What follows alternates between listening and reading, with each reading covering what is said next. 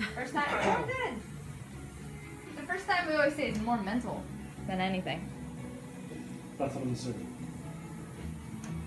Very good. So what got you interested in wanting to put one of these in? Do you want to put one in the wellness center that you have? Yeah, so I'll talk a little bit about the anti-inflammatory benefits. Yeah. Okay, great. So one of the big benefits of the cryo chamber, what's what's the best technical name for what we're using right now? Because I know there are different types. We say whole body cryotherapy, Okay. and I mean we just call it a chamber. Some Okay. people call it cryo sauna. Got. You know, Doesn't feel too much like a sauna, yeah, not quite like a sauna. So we use cryotherapy chamber. Right. Yeah. Um, some of the anti-inflammatory benefits.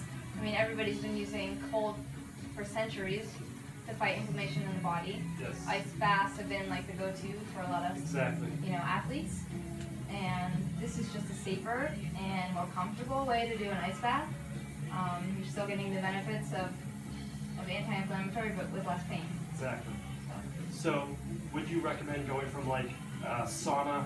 Can't do a steam because your body would be wet. yeah, But you could go from the sauna if you're not sweating potentially to this. yeah. I mean, we have people that you know when they're not here and they can't utilize this, and they're say they're at the mountain Yep. and they do the the snow Right. Right. Right. the hot Exactly. tub, So it's no. same type of thing, but you would want a, a dry sauna and then a cold. Definitely could do that as well. That would be. I mean, that this is actually, although it's freezing right now. Obviously, it's Yeah. freezing. Um, much easier than doing a ice bath. Yeah. To me, jumping into an ice bath is like pain. Yeah.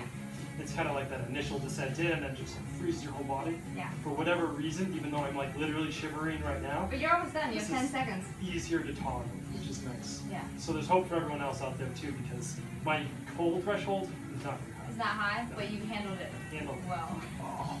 You're done.